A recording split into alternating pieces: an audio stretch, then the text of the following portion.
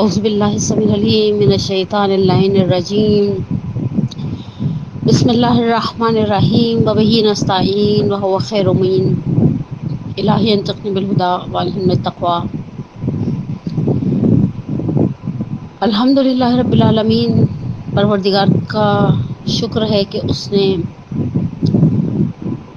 माह शवाल मुकर्रम का चाँद दिखाया और जैसे ही शवाल, शुरू होता है शवाल अपनी मुनासिबतों की आबोताब के साथ, माह शवाल मुकर्रम का आगाज़ होता है।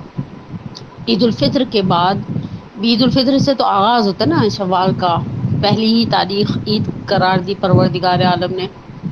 उसके बाद दूसरी हम मसल के जाफरी से वाबस्ता अफराद के लिए दूसरी बड़ी मुनासिबत। इस महीने के अंदर आठ शवाल मुकर्रम तारीख़ इंसानियत, तारीख़ इस्लाम, तारीख़ तशैय का एक स्याह तरीन दिनों में से एक दिन इनहदाम बकी।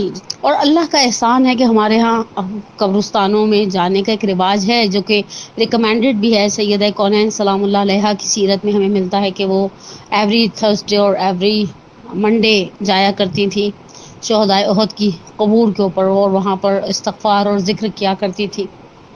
और फिर फजीलत के अतबार से। अभी तक मैंने जितनी मेरे पास रसाई थी किताबों के अतबार से, हमारे यहाँ एक कब्रस्तान ऐसा है जिसकी फजीलत में हमारे पास रिवायात हैं और वो बकी है। अच्छा सिर्फ़ हमारी किताबों में रिवायात नहीं है। मैंने एक रिवायत पढ़ी, अभी एक किताब पढ़ी थी निदाम बकी के हवाले से, जस्टिस हसन रजा गदीरी साहब की उर्दू में है वो किताब। अच्छी किताब है और बहरहाल इसके अलावा और कुछ किताबें इस मौजू पर हर ज़ुबान में लिखी गई हैं, अरबी में, फ़ारसी में, उर्दू में। तो अहल सुन्नत के पास वैसी रिवायात हैं। यानी एक रिवायत को अहल सुन्नत के उलमा ने नकल किया और उसी रिवायत को मफहूमन हमारे उलमा खासा ने भी नकल किया कि अल्लाह के रसूल एक रात आयशा के हाँ उनकी नौबत थी। जब उनको ऐसा लगा कि वो सो गई हैं तो वो उठे और आमादा हुए और उधर उनकी जौजा को ये एहसास हुआ कि शायद वो किसी एक बदगुमानी सी बकौल उनकी जौजा के उन मेरे दिल में पैदा हुई। कि ऐसा ना हो कि अल्लाह के रसूल अपनी किसी और जौजा के पास जाए। उसके साथ टाइम स्पेंड करें। अल्लाह के रसूल जब तैयार होकर निकले तो उन्होंने वो भी उठी, थोड़ी देर बाद उठी और तैयार होकर उनके पीछे गई। देखा तो अल्लाह के रसूल बकी गए और बकी जाकर तुलानी सजूद को अंजाम दिया और फिर जब उनके इबादतें मुकम्मल हुई तो मैं उनसे पहले घर वापस आ गई और जब अल्लाह के रसूल आए तो उन्होंने मेरा नाम लेकर कहा कि तुम जाग रही हो, कहा जी। कहा, तुम मेरे पीछे आ रही थी, कहा जी। कहा, क्यों? कहा, मुझे ऐसा लगा कि आप किसी दूसरी सौजा के पास जा रहे हैं जबकि आज मेरी बारी है। तो कहा कि आप क्यों गए थे बकी? कहा, इसलिए कि मुझे हुक्म दिया गया है खुदा की बारगाह से कि मैं अहले बकी के लिए दुआ करूँ। मुसलमानों के दरमियान एक कॉन्सेप्ट था बकी की अजमत का। उस्मान बिन मजून पहले महाजिर हैं जो दफन हैं बकी के अंदर। रसूलुल्लाह के फर्जंद इब्राहिम की कब्र बकी के अंदर है। रसूलुल्लाह की छः फुपियाँ आतिका, बर्रा, मेमूना, सफ़िया, बाकी दो के नाम जहन में नहीं आ रहे मेरे। वो बकी के अंदर दफन है। और भारत बकी के अंदर अंसार और महाजरीन की बड़ी जलीलकद्र शख्सियात दफन हैं जन्नतुलबकी के अंदर। और ये कॉन्सेप्ट मुसलमानों के अंदर बकी की अजमत का इतना ज़्यादा था कि क़यामत के मैदान में हज़ारों चेहरे बकी से इस तरह से चमकते हुए मशहूर होंगे गोया बद्र तमाम जैसे एक माह कामिल एक चौदहवीं रात का चाँद चमकता हुआ आ, कहीं पर नुमाया होता है। इसीलिए तारीख गवाह है ज़ाहिर मुफ्ती जाफ़र हुसैन साहब, मरहूम आल्ला मकामा ने भी इशारा किया कि जब खलीफा सालिस को आखिर जिलहज छत्तीस हिजरी के अंदर बहुत बेदर्जी से बलवाइयों ने कत्ल कर दिया और उनकी लाश को बकी के पास एक मजबला पर जो यहूदियों की मिल्कियत था, फेंक दिया। तो और फिर कुछ एक आध दो दिन तो लाश उनकी ऐसे ही पड़ी रही, फिर उनके चाहने वालों ने उस लाश को दफना दिया। और जब बनु मैया बरसर इकतदार आए तो बनु मैया ने उस लाश को उस हिस्से को ख़रीद कर उस अराजी को उस एरिया को ज़मीन के उस टुकड़े को बकी की बाउंड्रीज को एक्सटेंड कर दिया ताकि आने वाली नस्लें कहें कि हाँ ये शख्स बकी में दफन है। हालाँकि वो हिस्सा जहाँ पर वो दफन थे वो उस वक्त बकी का आ, के एरिया में ही नहीं आता था। और बहरहाल बकी के बाद जो दूसरा हमारे यहाँ एक अजीम कब्रस्तान है, अलबत्त उसके ऊपर मुझे रिवायत अभी तक नहीं मिली ढूँढने के बावजूद मुझे कोई ऐसी रिवायत नहीं मिली। जो कुछ मुझे मिला है, किताबों से, किताब है अमाखिन और मुक़दसा और कबूराई आयमा फ़ारसी में उसके अंदर मसलन इराक़ के ऐसी कब्रस्तानों के और इराक़ में जो मुक़दस मकाम है उस हवाले से लिखा गया, वो दूसरा अहम और फजीलत वाला जो कब्रस्तान हमारे मसल के जाफरी के मानने वालों के दरमियान मुख्तरम है, वो वादीसलाम का कब्रस्तान है। और उसके लिए एक नज़रिया है, बहरहाल हमारे लोगों के दरमियान एक सोच है कि इदामत तो दफिनी फ़ी जम्बिल हैदर जब मैं मर जाऊँ ना तो मुझे जम्ब हैदर में, जम्ब अमीरमिन में, उनके क़ुर्ब में दफन करना। उस हवाले से मैंने रिवायत देखी, मैंने कुछ बुज़ुर्गान और मशाइ के हमारे पुराने उलमा के ख्वाब उस किताब में बाज़ बयान किए गए। कि मसला उन्होंने देखा कि अमीर मोमिन की ज़री से अमीर मोमिन के गुंबद से बहुत सारी रस्सियाँ हैं, जो दारुसलाम वादी वादीसलाम के कब्रस्तान में मुख्तलिफ़ कब्रों से जुड़ी हुई हैं और ये गोया एक इंडिकेटर है अमीर मोमिन की शफात का और अमीर मोमिन के वजूद नाजरीन की बरकत का कि जो उनके क़ुर्ब में दफन हैं। और अमीरमिन की ज़ात की जो बरकतें, बहरहाल उनकी बरकतें ज़िंदगी में थी, ज़िंदगी के बाद, शहादत के बाद भी वो बरकतें बाकी हैं। और बहरहाल, वला युरज़क़ून। एक आम शहीद के लिए कुरान कहता है कि उनको मुर्दा तस्वुर मत करो, वो ज़िंदा है और अपने खुदा की बारगाह में रिस्क पा रहे हैं। तो वो तो बहरहाल अमीर उमिन है उस तमाम तर, अजमत के बावजूद। लेकिन जिस तरह से बकी के ऊपर तो बहरहाल मैंने कहा ना, हमारे पास रिवायात बकी की अजमत के लिए मौजूद हैं। लेकिन वाजुसलाम के हवाले से हमारे पास बुज़ुर्गान की वाक़ात उनके कुछ ख्वाब या उनकी जो वसीयतें और उन वसीयतों के अंदर उस शहर बाबरकत, नजफ़ के अंदर दफन होने की ख्वाहिश और उसका एक इसरार महसूस किया जाता है। और बहरहाल इन इन, इस इस, इन कब्रस्तानों के अपने फ़ी मसाइल हैं, इन कब्रस्तानों की अपनी एक अहमियत है। और मुझे ईद वाले दिन वादी हुसैन को देखकर एक अजीब से दुख का एहसास भी हुआ कि इतना मैस कर देते हम लोग कब्रस्तानों को कि वाकई दुख की और सोचने की बात है कि मसन मैं जितनी देर बैठी रही, मैंने महसूस किया कि हम, पता नहीं मेरे है कौम कब सुधरेगी हमारा, हम कब सिविलाइज होंगे, कब हम एक महजब हती दीनदार दीन दीन आपको तहजीब सिखाता है। लोग फूल डाल रहे हैं अपने मरहूमिन की कब्रों पर, थैलियाँ वहीं फेंक रहे हैं। जो लोग मसलन बाहर से पानी लेकर आए हैं, वही वो जो बोतलें होती हैं डिस्पोजेबल पाँच लीटर वाली या दूसरी, वो बोतलें वहीं पर, आपने, आप ये सब उठाकर डिस्पोज करने के लिए एक प्रॉपर तरीका है, वहाँ पर जाकर डिस्पोज करें, आप इस कब्रिस्तान को साफ़ रहने दें। हम इन, हमारी, ये हमारी अरवा हैं, हमारे मरहुमीन हैं यहाँ पर। कब्रस्त, अच्छे कब्रस्तान की फजीलत का अंदाज़ा आप यहीं से लगा लें कि रसूलुल्लाह सल्लल्लाहु अलैहि वसल्लम की एक मरूफ रिवायत है, जिसे हमारे बुजुर्गान ने नकल किया कि अपने मुर्दों को अच्छा पड़ोसी दो। अल्लाह के रसूल से सवाल किया गया, या रसूल अल्लाह अच्छे पड़ोसी से क्या मुराद है? आप अपने मुर्दों को कहाँ से अच्छा पड़ोसी दें? ज़िंदगी में तो इंसान अच्छे पड़ोसी चाहता है ना। का उन्हें ऐसे कब्रस्तान में दफन करो जहाँ उलमा, सुलहा, बुजुर्गान, सोदा, नेक लोग दफन किए जाते और फिर बहरहाल वो अशरफ अद्दाद की जोजा के वाक़े के बाद हमें ख़ुद इस बात का बड़ी शिद्दत से एहसास हो जाना चाहिए कि अगर एक शख्स ऐसी जगह पर दफन होता है जहाँ खुदा के नेक और साल अफराद दफन हैं तो जिस तरह एक शख्स अच्छा पड़ोसी ज़िंदगी में आपके लिए ब्लेसिंग है, ऑब्वियसली मरने के बाद भी एक अच्छा पड़ोसी इंसान के लिए ब्लेसिंग है। और इन कब्रस्तानों पर से ना गुजरे इंसान, मगर ये कि उन अहल कबूर के लिए हदिया अलहम की सूरत में सुर अखलास की सूरत में सुर नाजलना की सूरत में, सदक़े और दुआए मगफ़रत की सूरत में। हती मैंने पिछले दिनों एक फ़िकी मसला मेरे जहन में बहुत कुलबुला रहा था। एक अच्छा अच्छा पहलू ये था कि एक सोच थी वालदेन की तरफ़ से लखसूस हमारी वालदा मरहुमा, हमेशा कहा करती थी, कब्रस्तान के बाद से गुजरो, चलो भाई सूरा फातिहा पढ़ो। वही चीज़ आदत थी, पक्की हो गई के बाद वो आप डिफेंस जाते हुए गोरा कब्रस्तान की तरफ़ से गुजरते हैं, वहाँ पे भी इंसान गाड़ी में एहसास होता है, कब्रस्तान है। चलो, एक सुर फातह पढ़ने मैंने फ़ी एतबार से मेरे जहन में खुलबुलाहट थी कि क्या हमें ऐसे किसी दूसरे मसल गैर शिया के लिए या किसी गैर मुसलमान के लिए अगर हम दुआ मफ़रत करते हैं तो उसका असर है या नहीं है? तो मुझे जब जवाब मिला बुजुर्गान की तरफ़ से तो मुझे जवाब सुन के खुशी हुई कि हमारी दुआ खैर, हमारा अमल खैर, उनके अजाब में कमी का सबब बनता है।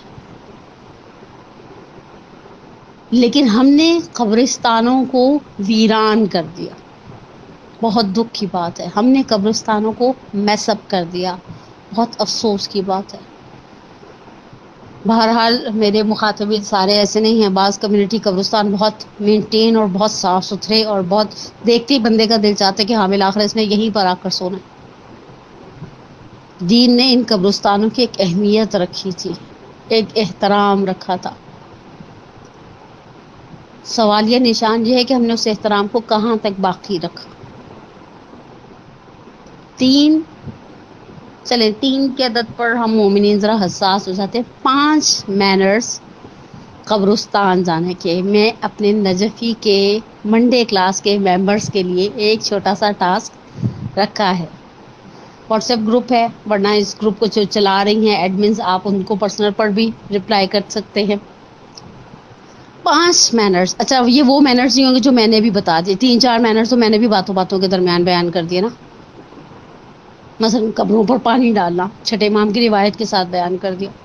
कब्र पर हाथ रखकर सुरह नंजला की तिलावत करना, ये भी मैंने गुफ्तु के दौरान बयान कर दिया। कब्रस्तान में दाखिल होकर उन पेटेंट जुमलों के साथ सलाम अर्ज़ करना, ये भी मैंने बयान कर दिया। रात में कब्रस्तान ना जाना, ये भी मैंने बयान कर दिया। इसके अलावा, ये आप वो काम ना करें, मेरी चार चीज़ें तो मैंने बयान कर दी बई ने मैंने पाँच ही बयान कर दी गुफ्तु के दौरान।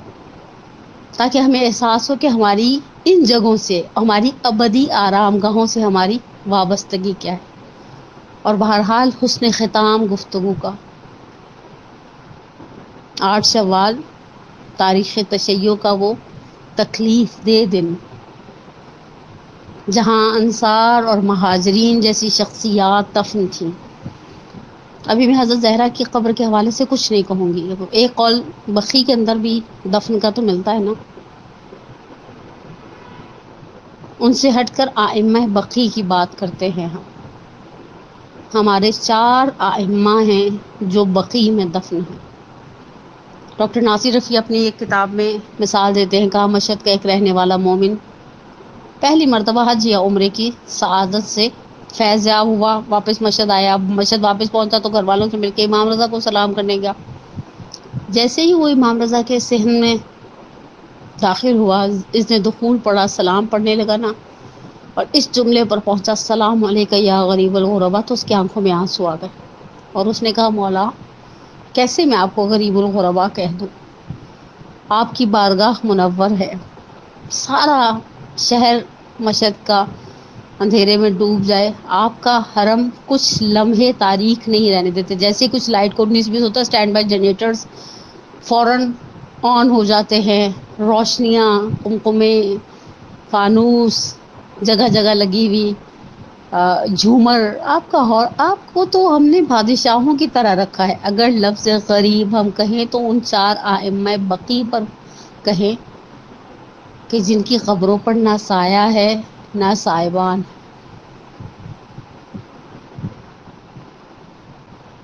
जिनकी खबरों पर ना दरबान खड़े किए गए हैं। ना ज़रिया ये मुतहर है।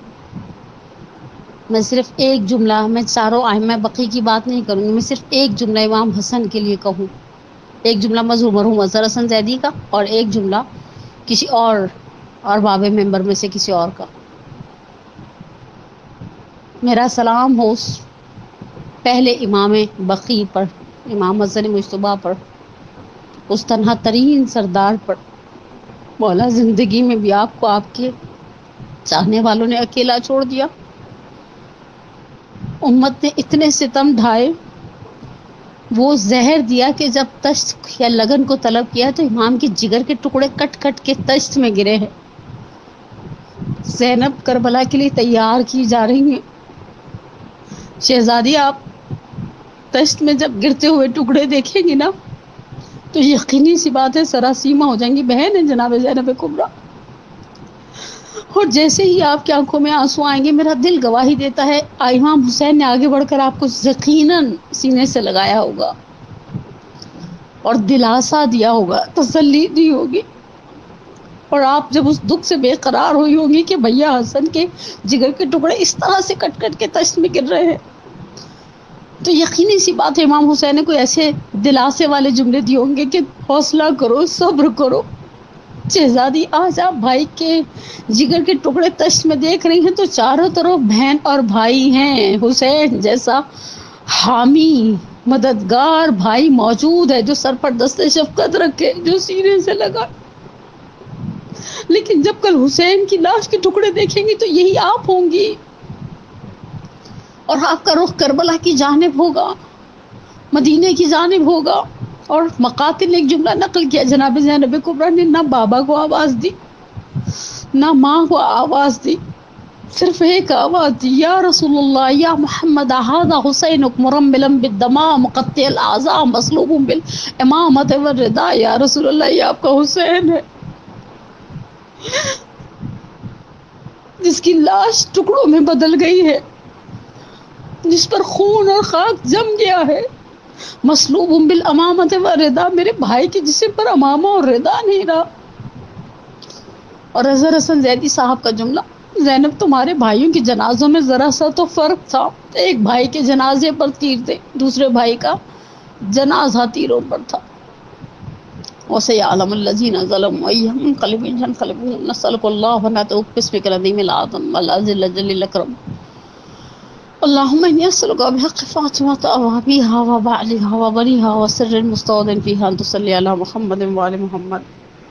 और दिगारा हमारी सबसे बड़ी हाजत सबसे बड़ी ईदी तेरी बारगाह में तलब करते हैं हमारे इमाम के दहूर में ताजील फरमा हमारे वली हमारे हजत के जहूर को सहलो यसीर करार दे परवरदिगारा ये वबा जिससे हम कब से पनाह तलब कर रहे हैं खुदाया तुझे वास्ता मुंतकम आल मोहम्मद का। परवरदिगारा, इंसानियत को इस्लाम, को अहल तशैयों को इस मुसीबत से, इस वबा से, इस वायरस से, इस बीमारी से निजात अता फरमा। परवरदिगारा, तुझे वास्ता मोहम्मद आल मोहम्मद का हमारे मरहुमीन के ललखसूस मैं अपने मरहूम वालदेन के लिए दुआ गूँ परवरदिगारा, उनकी खबरों पर अपनी रहमत, अपने नूर, अपनी मगफरत की बारिश नाजिल फरमा। परवरदिगारा, तुझे वास्ता उन जलीलकद्र शख्सियात का, उन चार आम बकी का, उन आठ आठ, चार आम बकी के साथ उस रिवायत की रूह से, जिस रिवायत जिन रिवायात में जनाब सैदा की कब्र मतहर की तरफ़ इशारा होता है वजूद नाजरीन सैद कौनैन के सदक़े में। और इन पाँच अजीम शख्सियात के बाद उन बुजुर्गान के सदक़े में जो मोहतरम दफन हैं जन्नतुलबकी में उनके सदक़े में परवरदिगारा हमें इस